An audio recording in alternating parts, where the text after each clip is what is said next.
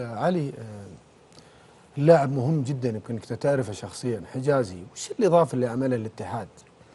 غير الفنيه والله القيادة. قياده قيادة وشخصيه حجازي آه، من اهم الأشياء اللي اضافها في في في الفريق.